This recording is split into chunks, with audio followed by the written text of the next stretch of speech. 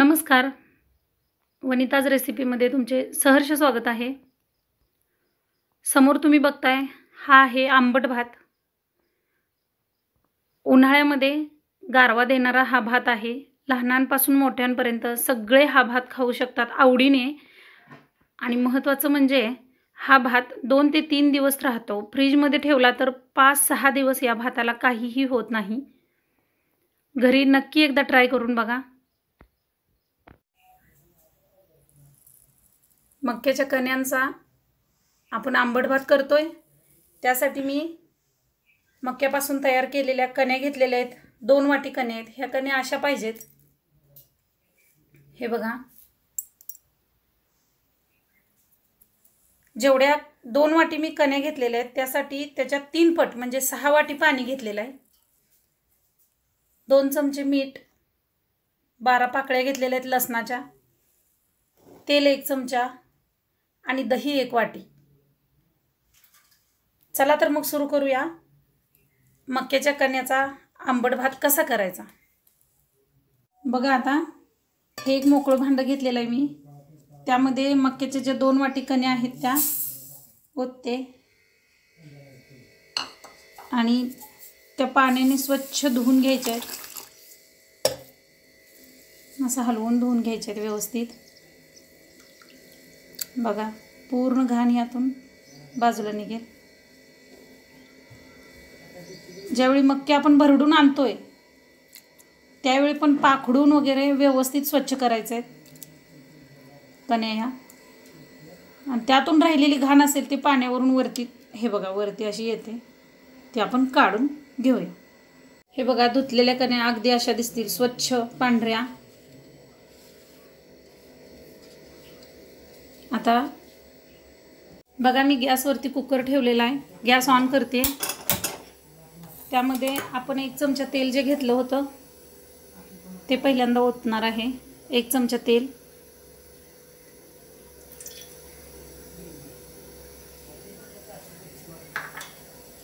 हे तेल का ओतलं आपण खाली? तर कण्या शिजत असताना त्या खाली लागू नयेत करपू नयेत.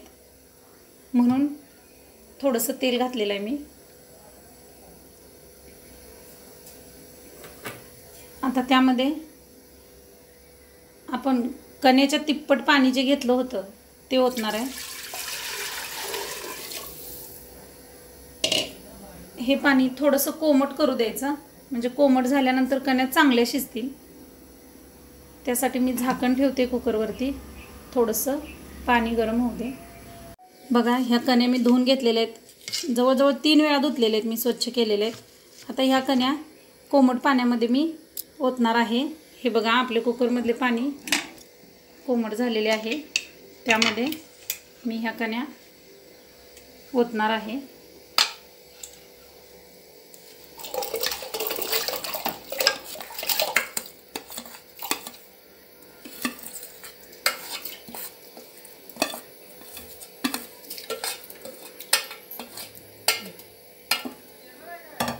यामध्ये बघा ह्या कणे मी यामध्ये टाकल्यानंतर थोड्याशा हलवून घेते.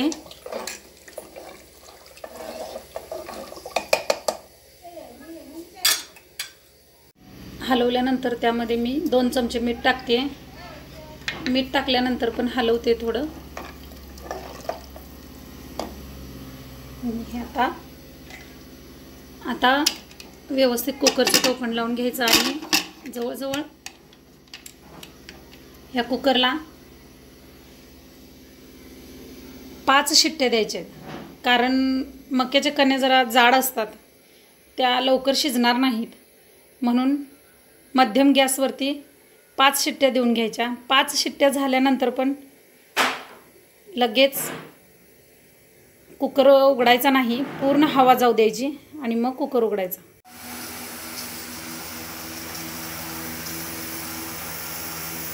बघा आता मी गॅस बंद करते. पाच शिट्ट्या दिलेल्या आहेत मी. पूर्ण गॅस कमी करून पाच शिट्ट्या द्यायच्या आहेत. आता गॅस बंद केलेला आहे मी. कुकर जवळजवळ ह्या कण्या आठ तास गार होण्यासाठी ठेवायचे आहेत. आठ तासानंतर पूर्ण गार झाल्यानंतरच आपण कुकरमधून या कण्या काढून बाहेर घेणार आहोत. आणि मग त्यामध्ये लसूण मिक्स करणार आहोत. असा दिसेल हा भात. हा घट्ट झालेला भात पूर्ण फोडून घ्यायचा आहे मी जे पाण्याचं प्रमाण सांगितलं आहे तेवढंच वापरा नाहीतर कण्या शिजणार नाहीत. बघा आता हे पूर्ण गट्टे फोडून घेतलेले आहेत यातले मी. आता यामध्ये जो लसूण होता तो मिक्सरला बारीक केलेला आहे मी. तो पसरून असा टाकायचा आहे. एका ठिकाणी नाही टाकायचा.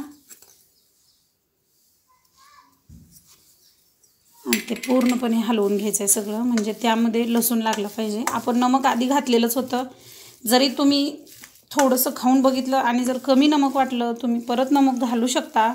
मला नाही वाटत एवढं नमक घातल्यानंतर परत काही गरज आहे नमक घालण्याची. छान झालेला आहे भात हा.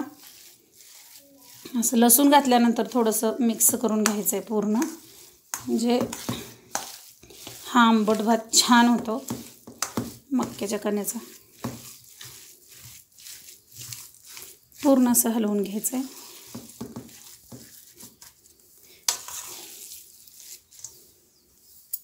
तर बघा लसूण आपण मिक्स करून घेतलेला आहे. आता त्यामध्ये मी आपण जे एक वाटी दही घेतलेलं होतं ते घालणार आहे. आणि पूर्ण दही घातल्यानंतर तो भात मिक्स करून घेणार आहे. एवढी छान याची चव लागते. घरी नक्की एकदा ट्राय करून बघा. उन्हाळ्याचे दिवस आहेत. हा थंड पदार्थ आहे. हे बघा. खूप म्हणजे खूप छान चव लागते याची. आणि हा तुम्ही व्हिडिओ बघताय तुमच्या मोबाईलमध्ये त्या व्हिडिओच्या खाली एक सबस्क्राईब म्हणून लाल रंगाचे बटन आहे. ते दाबा. ते दाबले की लगेच बेल आयकॉनचे बटन येईल. त्यावरती प्रेस करा. त्यामुळे काय होईल?